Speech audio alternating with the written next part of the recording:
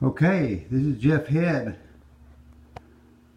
on the Jeff Head Scale Modeling in Naval YouTube channel or the just Jeff Head channel.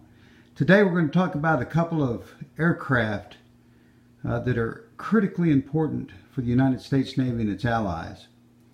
Uh, what you're looking at here are two uh, different versions that have not been adopted yet of the V-22 Osprey. Now the V-22 Osprey uh, has been adopted by the U.S. Marines in large numbers, also in significant numbers by the U.S. Air Force for search and rescue as well as special operations, and by the U.S. Navy for uh, carrier onboard delivery. And that's that's an important function because carrier onboard delivery brings parts and people uh, to aircraft carriers in particular, but to any ship. And I'm sure one of the reasons that they chose the V-22 is because of its vertical takeoff and landing capability, which means it can do that function as well as uh, other functions uh, with destroyers, amphibious assault ships, LPDs, LHAs, LHDs, uh, anyway, those those three have been adopted, but now we're in an era uh, that is a critical era where vertical takeoff and landing and short takeoff and landing has become critically important with the introduction of the F-35B. The F-35B is the vertical takeoff and landing version of the F-35 uh, fifth generation stealth strike fighter that the U.S. has put out and its allies are buying and in particular the F-35B is now being used to equip uh, United States Navy LHD and LHA amphibious assault ships, which are in fact large, larger than World War II aircraft carriers, uh, flat deck aircraft. Now they historically have carried a squadron of uh, Harrier 2s uh, but the Harrier II, despite its uh, many good qualities, including the fact the United States Navy uh, Marines put uh, uh, strong radar on it and AMRAAM missiles so that it had much stronger self-defense, it still was not stealth and it was lower than Mach 1 speed. The F-35B is a supersonic, stealthy aircraft that can carry much more ordnance than the Harrier and uh, basically uh, is a fifth generation aircraft that is going to be built in large numbers for us, the United States, and our allies. And there's a Navy version for uh, large aircraft carriers uh, to use uh, with, with catapults, and there's uh, an Air Force version. But let's look at this version of the Osprey first. This is what I'm calling, and has been called by others, the SV-22. And if you look back here towards the back of this aircraft, or on the side, you can see what its main function is. On each side it has two uh, torpedoes, and then on the bottom of the aircraft, uh, right in that area, see if I can get it to focus in there, pretty good. You can see the uh, sonar buoy uh, ejection, and it carries uh, a large number of them.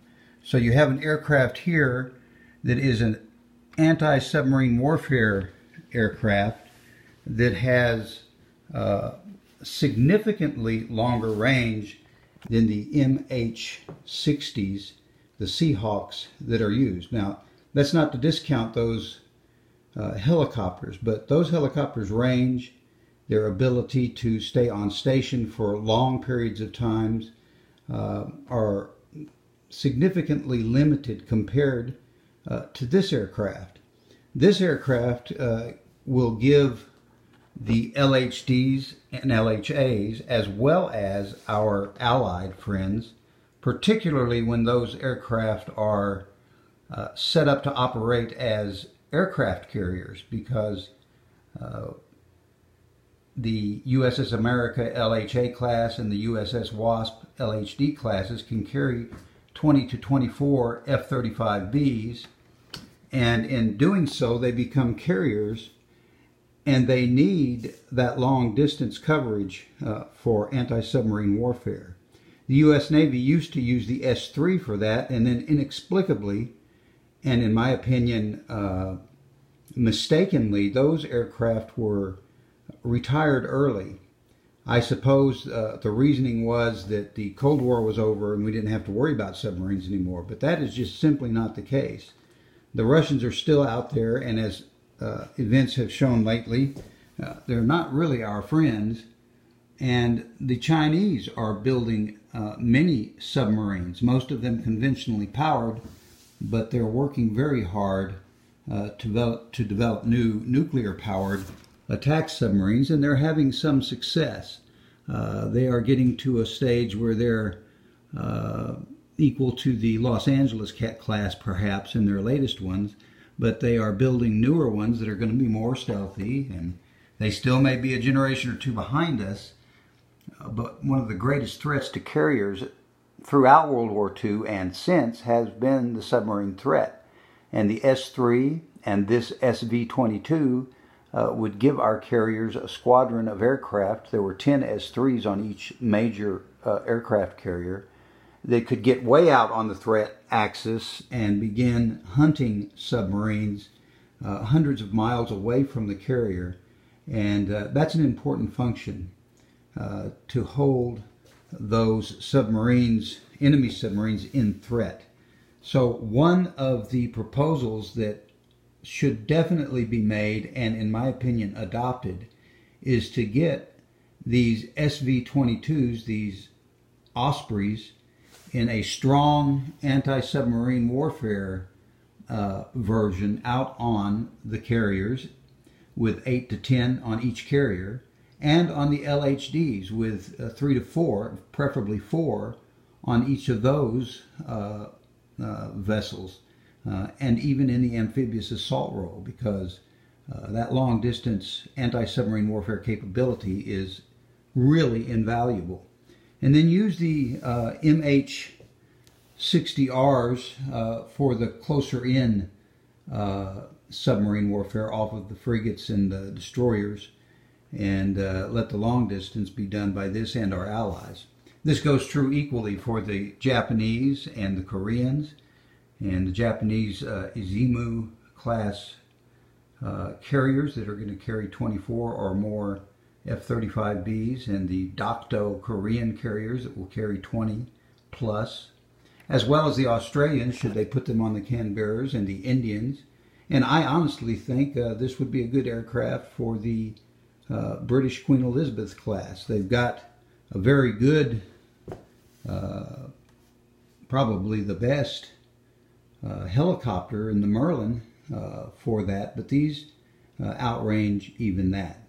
So there is one of the proposals. Let's get this SV-22 uh, built, and please read the commentary and description of this video because it gives you an idea of the things to do you can do with your congressman and others to try and make this happen.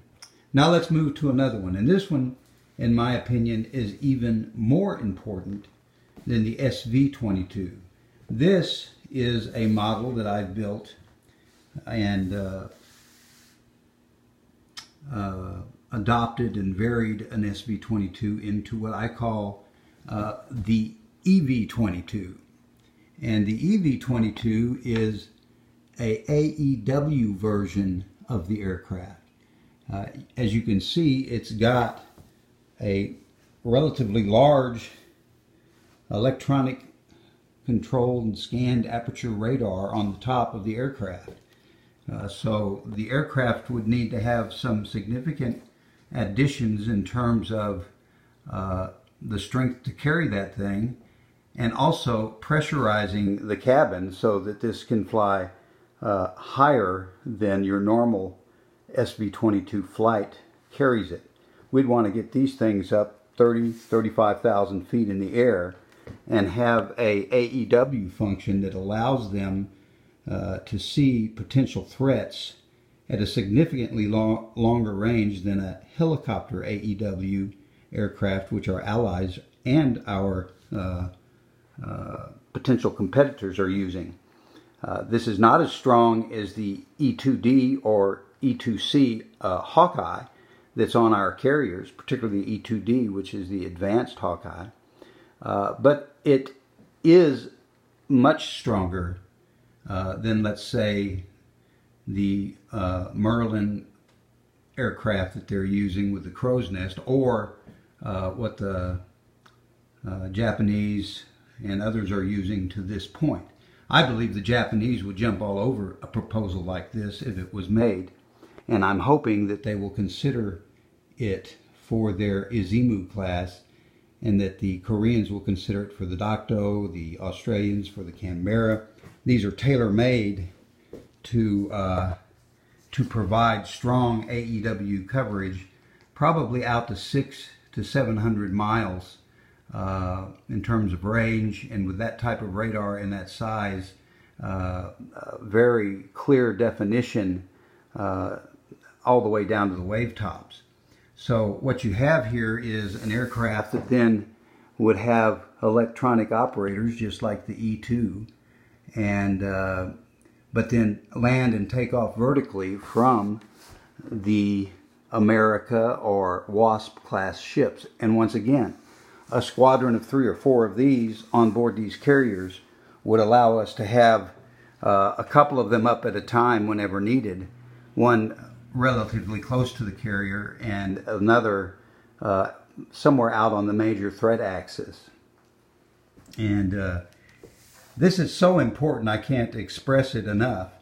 Uh, if you're going to put uh, two billion dollars worth of aircraft on an air on a on a ship that cost two to three billion dollars itself and carries, you know, uh, a couple of thousand sailors and uh, and even more when you put Marines on it, uh, then you better take the best care you can of it. And the air threat to these ships has gotten much stronger than it used to be. And so you want to find potential threats, meaning attacking jets, uh, aircraft, uh, like the H-6K, for example, from uh, China, before they can launch their missiles.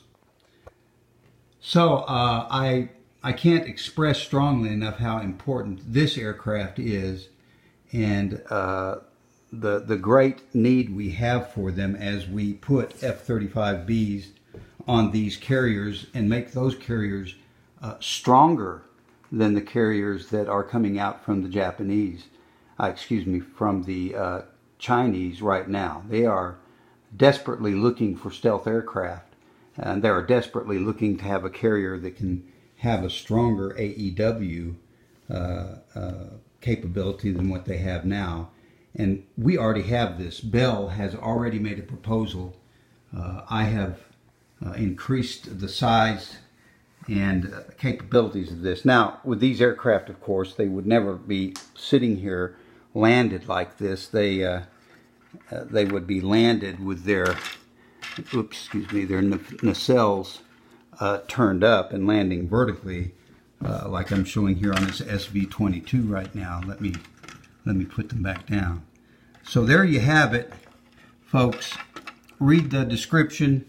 Contact your congressmen and senators and also your friends, uh, I'd say from lieutenant commander and above, and urge them uh, to push uh, for these uh, opportunities because we desperately will need them to protect those ships, uh, which we are going to put so much investment into.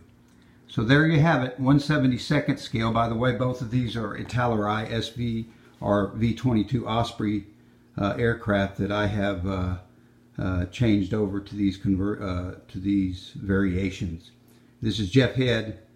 Again, contact the folks you know, spread this around. Uh, this is a critical thing, and I'm, I'm certainly hoping the Japanese bite. I think if they do, and if we do, because we've got, you know, eight to ten LHD and LHA ships that are going to be out there able to be smaller carriers, but still carriers with those F-35Bs that are stronger than most of our competition, if not all of it. Jeff Head, you guys have a good one. God bless you. And uh, please subscribe if you have a mind. I've got a bunch of 100, 1 350th scale ships that I have put out in all of the various configurations and task forces that, that we and our uh, competitors and other navies use. Thanks for watching.